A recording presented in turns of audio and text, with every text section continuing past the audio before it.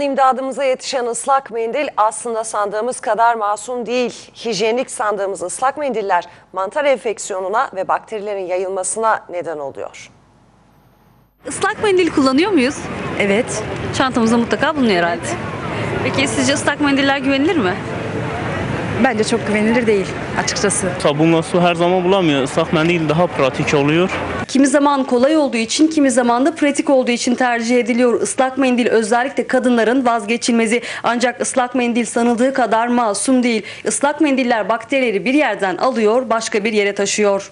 temizleme için kullanılabilir. Bakterilerden arındırmak için kullanılmaz. Ee, ıslaklık ve nem bakteriyi ve mantarı beraberinde getirir. Çantamızdan eksik etmediğimiz ıslak mendiller aslında sandığımız kadar masum değil. Islak mendilde ne olduğunu bilmiyoruz. Siliyoruz her ihtimale karşı. Kullanıyoruz gene de ama bence önermiyorum. Çocuk için kullanıyorum.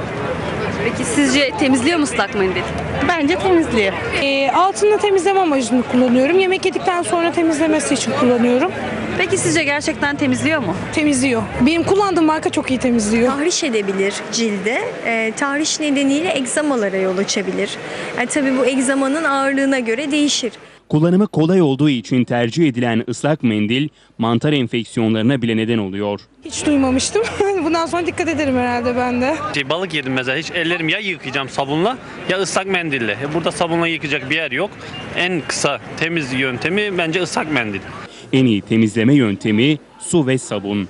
Ancak ıslak mendil kullanılacağı zaman da dikkatli olmak gerekiyor. Bir el temizliğinde aslında eli yıkamak daha önemli. Ee, sabun ve suyla elleri yıkamak e, bakterilerin daha e, çok temizlenmesine, elin temizlenmesini sağlıyor ve elin hijyeni için bu daha önemli. Bebekler için eğer kullanacaksak bebeklere uygun mu? Kimyasal e, yoğun miktarda kimyasal içeriyor mu?